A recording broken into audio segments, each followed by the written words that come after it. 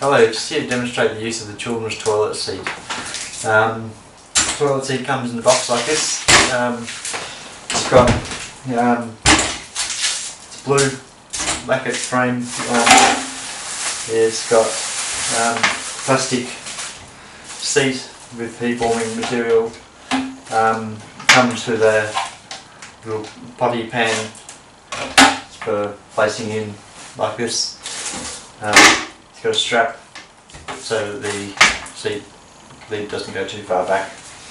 Um, the seat lid can be removed by unscrewing these these at the back for cleaning. Um, there's height adjustable legs, so just to change the height, just pull, remove the clip and change to the height you need. At the moment it's set on the lowest setting for in the box. Um, it is got, comes with the user instructions, um, holds a maximum of 70 kilograms and yeah,